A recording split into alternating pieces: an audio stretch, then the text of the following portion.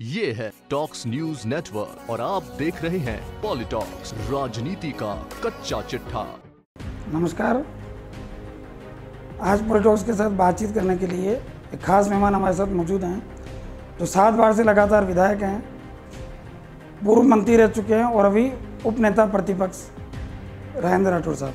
नमस्कार सर। नमस्कार। बात करते हैं देश और दुनिया में चाहे कोरोना महासंकट के। तो सर आपका भूत में आप चिकित्सा मंत्री भी रह चुके हैं और पंचायत राज मंत्री भी रह चुके हैं। और आज सबसे ज़्यादा जो काम हो रहा है, इन दो महकमों में हो रहा है। तो राजस्थान में जो चिकित्सा के क्षेत्र में, स्वास्थ्य के क्षेत्र में कोरोना से निपटने के लिए जो कदम उठाए गए हैं, चाहे वो टेस्टिंग हो क्वारंटाइन सेंटर्स हो या प्रवासियों को, इसको आप किस तरीके से देखते हैं? इसमें क्या और होना चाहिए था जो नहीं हुआ और क्या हुआ? देखिए, एक वैश्विक महामारी है, जिसने पूरी दुनिया को अपने आगोश में समेटा है।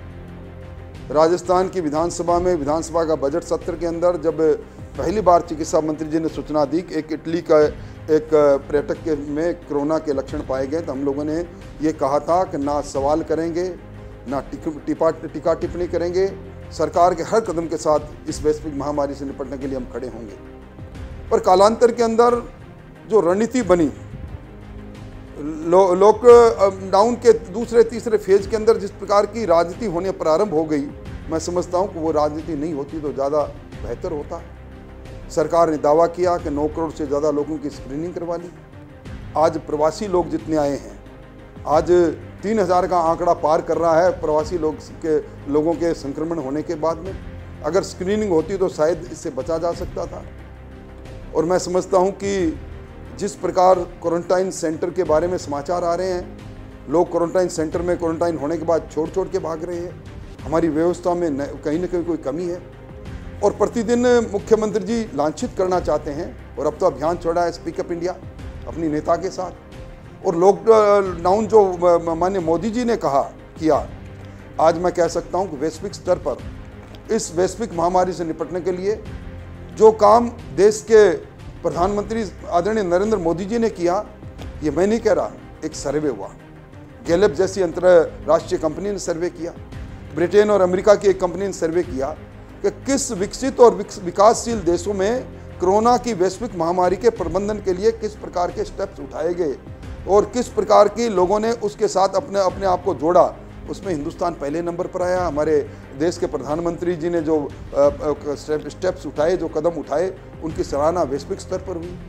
और आज उसी पर कह रहे हैं कि आनंद फानन के अंदर लॉकडाउन हुआ लॉकआउट हुआ और हमारे राज्य के मुख्यमंत्री जी पहले अपनी पीठ थपथपा रहे थे कि उन्होंने देश में पहली बार लॉकडाउन लॉकआउट किया और आज उसी पर सवाल खड़ा कर रहे हैं। मैं समझता हूँ इस वैश्विक महामारी में राजनीति नहीं हो। केंद्र सरकार और राज्य सरकार। ये चिकित्सा राज्य सरकार के लिस्ट के अंदर, स्टेट लिस्ट का सब्जेक्ट है। पर इसके अंदर राजनीति नहीं होकर इस वैश्विक महामारी में दोनों हाथ मिलाकर काम करते तो उसके परिणाम बहुत अच्छे आते हैं। पर हम हर एक चीज़ के अंदर राजनीति करना प्रारंभ कर दें तो मैं समझता हूँ इस प्रकार के मामले के अंदर इस प्रकार की राजनीति करने से बाज आना चाहिए। राठौर साहब मनरेगा में अभी राजस्थान का नंबर वन वो चला चालीस लाख श्रमिकों को में रोज़गार देने का दावा सरकार कर रही है। और साथ में मांग कर रही है केंद्र सरकार से लगातार कि इसका जो कार्यकाल 200 दिन का कराया जाए 100 दिन के बजाय इनका मानदेय बढ़ाया जाए। तो इसको लेकर आप क्या सोचते हैं? देखिए अभी भी इसी कोरोना के इस समय के अंदर आपने देखा होगा मनरेगा की मजदूरी के अंदर लगभग 18 परसेंट की बढ़ोतरी की है। राज्य सरकार के पास अट्ठाईस करोड़ रुपए मेटेरियल कंपोनेंट और लेबर कंपोनेंट के भेजे हैं। इकहत्तर करोड़ रुपए केंद्र सरकार में जो पुराने अब तक लंबित थे, वो भी केंद्र सरकार ने राज्य सरकार को दिए हैं। राज्य केंद्र सरकार का खुद का ये मानना है कि मनरेगा से आज श्रमिक की गड़बड़ाई अर्थव्यवस्था के अंदर वो एक रामबाण सिद्ध हो सकता है। निश्चित तौर पर राजस्थान के अंदर मनरेगा के अंदर जो मजदूरों की संख्या बढ़ी है मुझे प्रशंसा है प्रसन्नता है। मैं उन उसके लिए उप मुख्यमंत्री जी को धन्यवाद भी देना चाहूँगा। और ये 200 अ, ये 100 दिन के दिवस को 200 दिवस किया जाए सिद्धांतिक रूप से हम लोग भी इसके लिए प्रयासरत हैं। और केंद्र सरकार से हमारा भी आग्रह है कि 200 दिन किए जाएँ। पर आज की तारीख में जब विश्व का सबसे अधिक तापमान राजस्थान में हो, चूरू में हो, और लगातार पूरे देश के अंदर, तापमान के अंदर चूरू और गंगानगर एक नंबर पर हो, उसमें मैंने लिखित में आग्रह किया है उप मुख्यमंत्री जी से मनरेगा का समय छः बजे से एक बजे के बजाय छः बजे से ग्यारह बजे करें। इसका टास्क को तैंतीस परसेंट और कम करें और इसके साथ साथ वहाँ छाया का इंतज़ाम हो, पालन छोटे बच्चों के लिए पाल पालने और दूसरी चीज़ों का इंतज़ाम हो सैनिटाइजिंग वहाँ हो, वहाँ सोशल डिस्टेंसिंग हो, जिसकी धज्जियाँ उड़ रही है। निश्चित तौर पर ये काम और करना चाहिए। एक रचनात्मक काम है। आज प्रवासी श्रमिक और श्रमिक सबसे ज़्यादा पीड़ित इसी समय में इस कोविड नाइन्टीन से हुए हैं। उनको इस समय किस प्रकार संबल दें, हमारा सबकी कोशिश होनी चाहिए। हमारी भी कोशिश रहेगी हम सरकार की मांग के साथ अपनी बात को केंद्र सरकार तक पहुंचाएँगे। सर ये जो कोरोना को लेकर जो राजस्थान ने प्रबंधन किया पूरे जो भी स्टेप्स उठाई इसको एक लाइन में अगर हम कहें तो गहलोत मुख्यमंत्री गहलोत को आप कितने नंबर देना चाहेंगे दस में से? नहीं मुझे अगर कोई कहे तो मैं उनको दस में से साढ़े तीन नंबर देना चाहूँगा। पासिंग मार्क देना चाहूँगा। पहले चरण के अंदर उन्होंने मीटिंग भी की जनप्रतिनिधियों से बात भी की पर बात खूब खूब हुई। पर निचले स्तर पर जो क्रियान्वयन है, उसमें कमी इसलिए रही कि जब हाथ पैर नहीं हो तो मनुष्य क्या करेगा? जब चिकित्सकों के आज लगभग 2200 2300 पद खाली हो, जब पैरामेडिक्स के लगभग अट्ठाईस हज़ार पद खाली हो, और जब हमारे पास आधारभूत संरचनाएँ नहीं हो, हमारी जाँच आज की तारीख में जब वो कह रहे हैं कि हम पंद्रह हज़ार के आंकड़े को जाँच को पार कर रहे हैं आज भी आप प्रतिदिन समाचार पत्र उठा लो, पाँच हज़ार छः हज़ार जाँचें। बहत्तर घंटों से ज़्यादा तक उनका नतीजा नहीं आता। अब इस प्रकार की बीमारी जो, जिसका वायरस बिल्कुल छूत से चलता है, एक दूसरे से संक्रमित हो सकते हैं, उसमें हम जाँच के बाद जाँच जब करते हैं, तब हमें लगता है कि प्रारंभिक तौर पर इन्फ्लुएंजा लाइक इलनेस के साथ साथ इसमें इस प्रकार के लक्षण है, और उस जाँच की रिपोर्ट में देरी होने से कितने जगह पर यह फैलता है।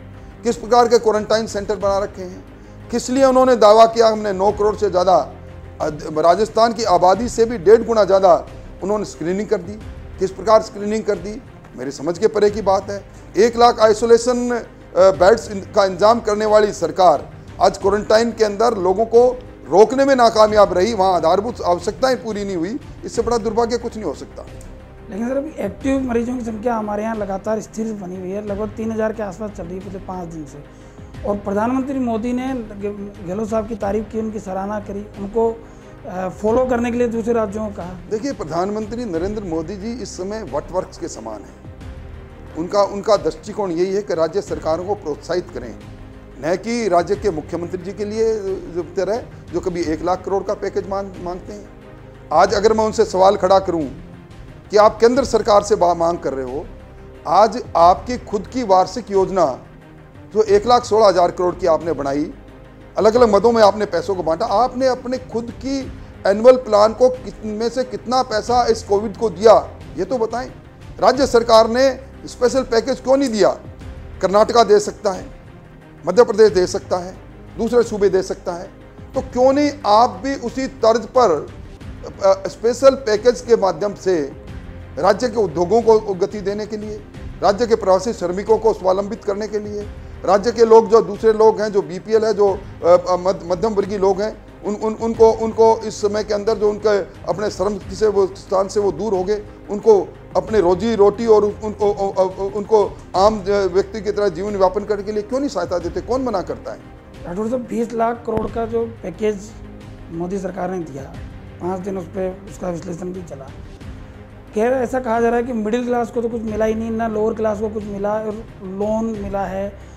पैसे की ज़रूरत है, कांग्रेस लगातार कह रही है, उनको सीधा पैसा दे। अभी उन्होंने डिजिटल अभियान चलाया, उसमें कह रहे हैं कि दस हज़ार रुपये सीधा परिवार को दें, पचहत्तर सौ रुपये छः महीने तक दें।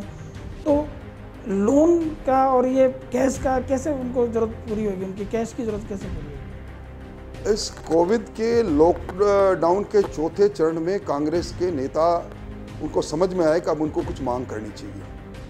जब देश के जीडीपी का साढ़े दस परसेंट, बीस लाख करोड़ का पैकेज आया, तब उनको ध्यान में आया कि इस आत्मनिर्भर भारत के में एक तरह से वापस इस चुनौती के अंदर भी अवसर ढूँढने का काम केंद्र की सरकार कर रही है। हर वर्ग को स्वलंबित करने की केंद्र की सरकार की योजना है। हर वर्ग को छूने वाला ये पैकेज दिया है, तब उन्होंने ये राग अलापना शुरू किया है। मैं समझता हूँ कि मध्यम वर्ग हो, मध्यम वर्ग में सत्तर हज़ार करोड़ के, उनको वो मध्यम वर्ग अपने आशियाना को बना सकें, मकान को बना सकें। आज जो हमारे स्ट्रीट वेंडर है, उनको दस हज़ार रुपये तक का एक तरह से लोन देने की बात, ताकि वो वापस अपने रोज़मर्रा के काम को प्रारंभ कर सके। एमएसएमई की परिभाषा जिस प्रकार को बदली है, मैं समझता हूँ उसमें सारा छोटा व्यापारी, जो मध्यम वर्गीय व्यापारी है, वो उसके अंदर शामिल हो रहा है, जो पैकेज दिया गया है तीन लाख करोड़ का। उसका लाभ भी निश्चित तौर पर मिलेगा। आज जो हमारा किसान है, आज किसान को दो लाख करोड़ रुपए, किसान क्रेडिट कार्ड के को और अतिरिक्त देने की बात करनी तीस हज़ार करोड़ रुपए सहकारिता का ऋण किसान को और मिले। ये सारी बातों को जब व्यापक तौर पर हम दृष्टि डालते हैं तो निश्चित तौर पर उसके अंदर मध्यम वर्ग से लेकर निम्न वर्ग के सबको किस प्रकार आर्थिक स्वावलंबन के साथ वापस वो पुनः खड़े हों और वापस अप, अपने अपने अपने हुनर से अपनी अपने श्रम से अपने अप, अपने मेहनत से वापस किस प्रकार अपने जीवन को पटरी पर ला सके इस प्रकार आत्मनिर्भर भारत के इस पैकेज के साथ केंद्र सरकार ने किया है। मैं समझता हूँ कितनी भी चुनौतियाँ आई होगी अलग अलग समय पर चुनौतियाँ कई बार आती है। पर यह पहला मौका है जब 20 लाख करोड़ यानी पूरी हमारी जीडीपी का 10.5 फ़ीसदी पैसा इस प्रकार के वैश्विक महामारी के मुकाबले के लिए केंद्र सरकार ने और राजस्थान सरकार को भी इससे सबक लेना चाहिए। उनको भी अपनी जीडीपी का 10 परसेंट, नहीं तो 5 परसेंट पैसे का भी पैकेज अगर दें तो मैं उनको साधुवाद दूँगा। राठौर साहब लॉकडाउन जब पहली बार लगा था तो चार घंटे के अंतराल में लॉकडाउन लगा दिया गया और कहा गया कि जो जाए वो वहीं रुक जाए। जब हमारे यहाँ कोरोना की शुरुआत थी, अभी कोरोना अपने चरम पे जा रहा है, पीक बढ़ रहा है और इतने सारे मरीज़, इतने से मृत्यु हो रही है, अब छूट का दायरा बढ़ाया जा रहा है। ट्रांसपोर्टेशन बढ़ाया जा रहा है, एक दूसरे से आने जाने की छूट दी जा रही है। देखिए, आज आम आदमी कोरोना के साथ जीने के लिए अपने आप को तैयार कर चुका है। जिस समय वैश्विक महामारी की आहट थी, हिंदुस्तान पहला राज्य था, पहले, पहला देश था, जिन्होंने लॉकडाउन करने में पहल की थी चौबीस मार्च को। आप देख रहे हैं, अमेरिका सबसे विकसित देश है। और अमेरिका ने, के राष्ट्रपति ने लॉकडाउन और लॉकडाउन की बात को एक तरह से अस्वीकार किया था, उसका परिणाम सामने है।